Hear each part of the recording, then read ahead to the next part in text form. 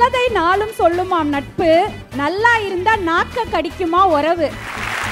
கமுக்க மடிக்கத்தால காதல் கிடக்கிறது பித்தால அப்படிதானா பணம் சம்பாதிக்க இந்த சிங்கைக்கு நிறைய தொழிலாளர்கள் வந்திருக்கிறார்கள்.